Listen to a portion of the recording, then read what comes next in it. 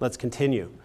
While Don Quixote inspects the diary, Sancho, always materialistic and greedy, rifles the suitcase in search of more money.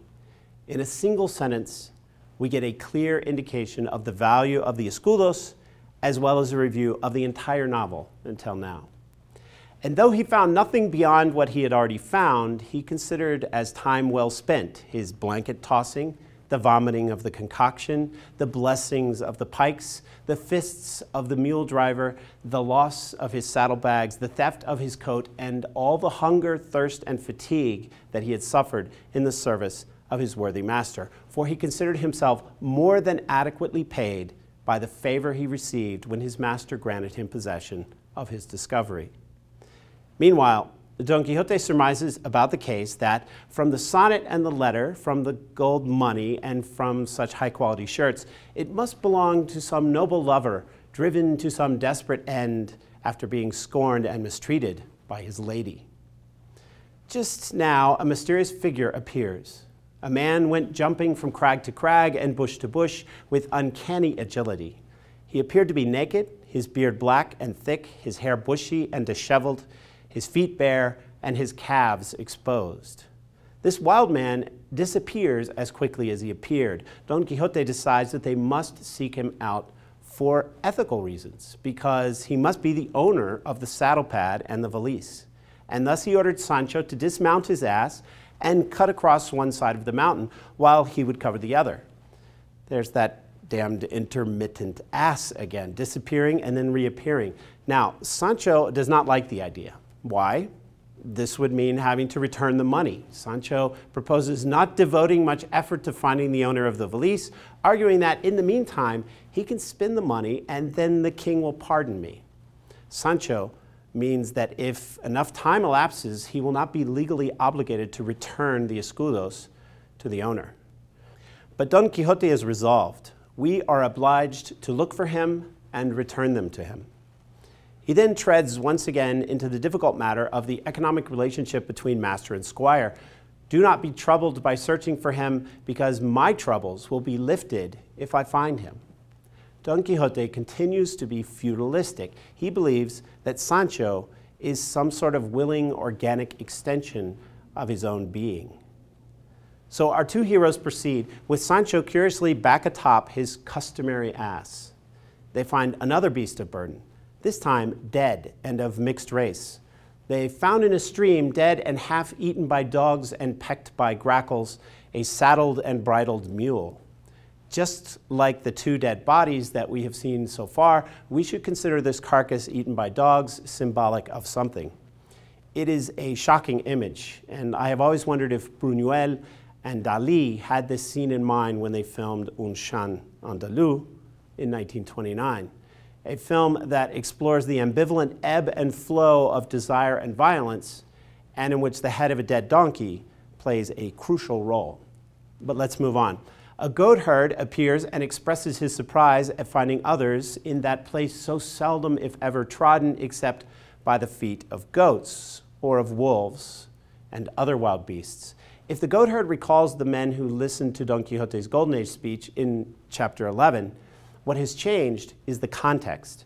It is now hellish, nothing like the previously pleasant and pastoral setting. The goatherd brings the chapter's ethical dilemma to the fore when he says that the carcass that the heroes saw must be that of the rented mule, which has been decomposing for six months in that ravine. He also says he has seen the cushion and the suitcase adding that I never wanted to lift it or go anywhere near it, fearing trouble and that others might accuse me of theft.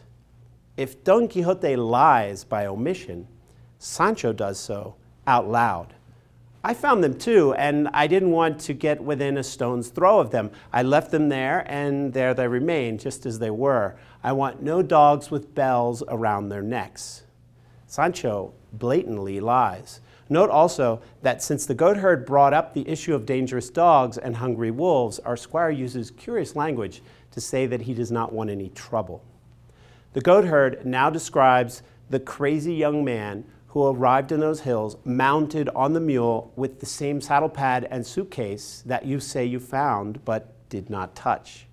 All this is ominous, not only in reference to our hero's lies, but because the young savage seems to have become a violent criminal or else suffers from a violent form of madness. If we read carefully, we will recognize the goatherd's description of an encounter with the crazed young man as an inverted version of the episode of the dead body. This is an excellent example of Cervantes' use of narrative perspectivism.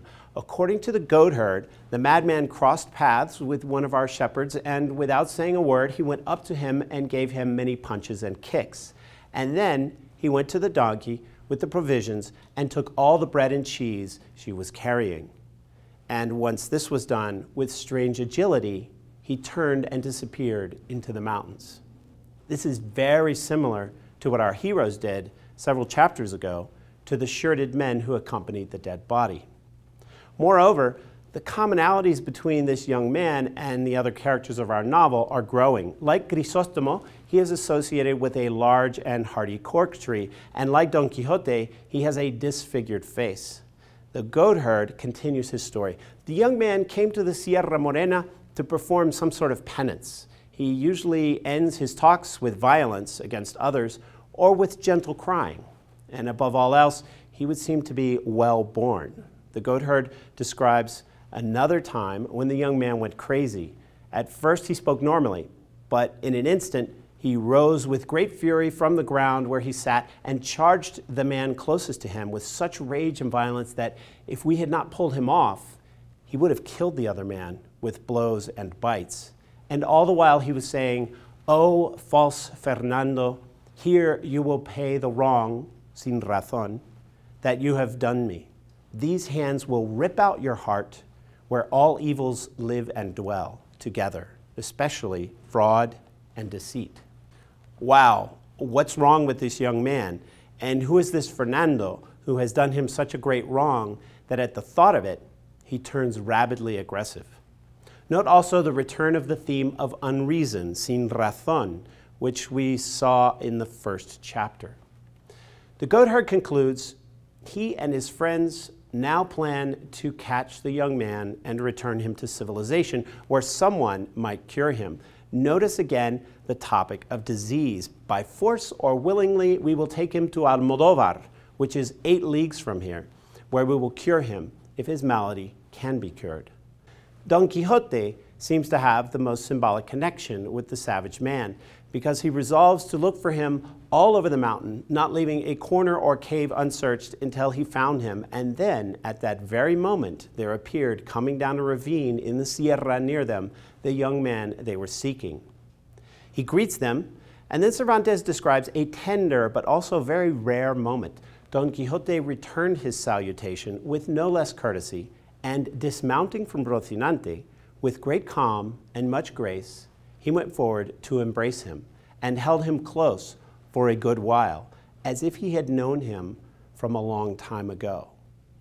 The other, whom we can call the broken one of the gloomy face, just as Don Quixote is the sorrowful face, after allowing himself to be embraced, pushed Don Quixote back a little, and placing his hands on his shoulders, he remained looking at him as if he were trying to see if he knew him.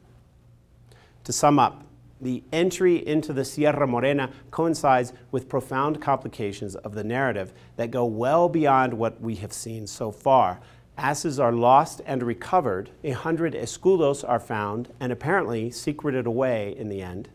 There are threads and skeins, very nice shirts, a letter, a sonnet, a mule half eaten by dogs, grackles, and wolves a mysterious old goatherd tells the story of a young gentleman who goes mad in the middle of the Sierra Morena, and we have all the indications of another love triangle between the young savage, a certain Fernando, and an unknown woman nicknamed Phyllis.